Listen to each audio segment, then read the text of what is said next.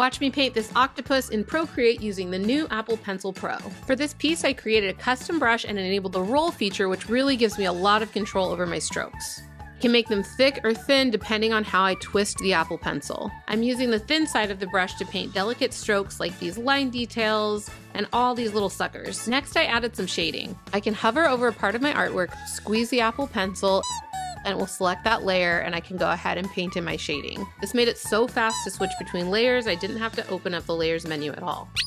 I can really get into these small spaces and tight corners thanks to the roll feature where I can be really precise about my brush strokes. Oops, and there's a stray mark. Let's use squeeze to find what layer it's on, double tap to switch to my eraser, get rid of it, and then keep on painting. Last, I wanted to add some highlights to my octopus, so I again used the squeeze to layer select to go over all the different tentacles and add a little shine. The Procreate update to support Apple Pencil Pro is coming soon.